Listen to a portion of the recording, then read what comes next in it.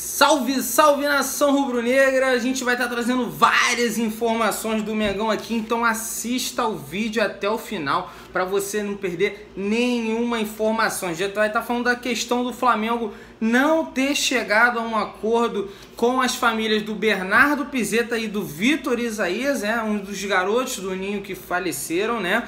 Já está falando a escalação do Flamengo, a gente vai estar dizendo aqui, então Fique até o final para você saber. E vamos estar falando também de um lateral aí que estão especulando a saída de um jogador que estão especulando a saída dele do Flamengo. Calma, a gente vai explicar tudo certinho.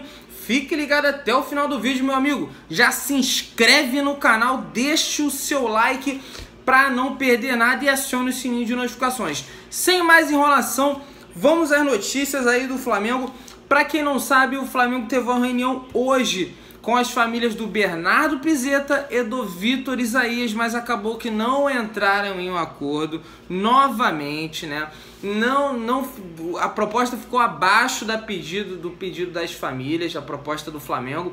Então não entraram em um acordo e a gente não sabe os valores, né? Não foram revelados pra gente, tá, galera? Mas quando surgir mais informações sobre o caso, a gente vai estar tá passando para vocês. Agora, vou falar sobre o jogo de quarta-feira. Valeu, galera? Já saímos aí a provável escalação, tá, pessoal? Vou estar tá passando aí para vocês. Vamos lá. Atenção, hein? Diego Alves no gol. Pará na lateral direita.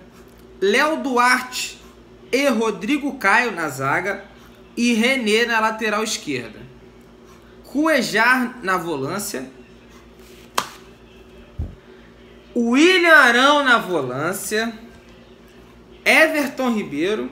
Bruno Henrique e Gabigol. Vamos lá. Diego Alves, Pará, Léo Duarte, Rodrigo Caio, Renê, Cuejá, William Arão, Everton Ribeiro, Bruno Henrique e Gabigol. Essa é escalação do Flamengo para confrontar a LDU do Equador aí na quarta-feira, mais conhecido como amanhã pela Copa Libertadores da América. É? E queria salientar também de que a Rascaeta é banco, hein? Não, não, vai, não tá os titulares. A maior contratação da história do Flamengo não está entre os titulares, é, galera.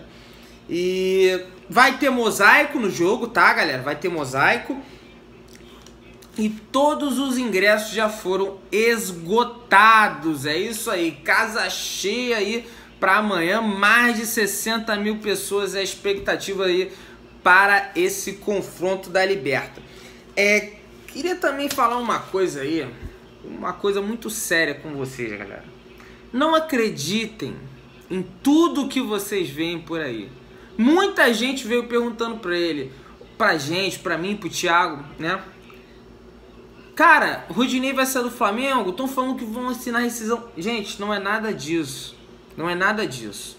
O que aconteceu foi um grupo de torcedores do Flamengo fez uma, uma espécie pra zoar também, né? Vamos, vamos com calma, galera. Pra zoar, pra zoar o Rodinei, né? Fizeram uma espécie de vaquinha online, né? Para que ele assinasse, para que pagasse e ele assinasse a sua rescisão contratual com o Flamengo. Mas não tem nada concreto, não tem nada assim que ele vai, ele vai sair do Flamengo mesmo. Não, não vai sair, tá? Ele ainda é jogador do Flamengo e tem contrato, se eu não me engano, até 2022, ou 21, alguma coisa assim. Depois eu pesquiso e vou estar tá passando para vocês aqui do canal. Não tem nada disso.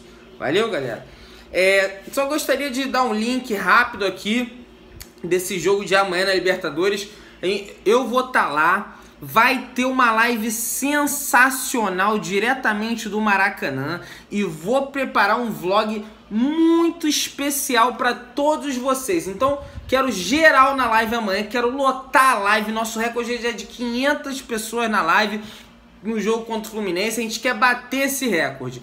Então, conto com a ajuda de vocês, principalmente a rapaziada que não é do Rio de Janeiro, a rapaziada que é do Nordeste, do Sul, Centro-Oeste, é do Norte, Conto com, a, conto com a presença de vocês e também da galera que é do Rio, do interior do Rio, não importa do fora do Brasil, não importa de onde for.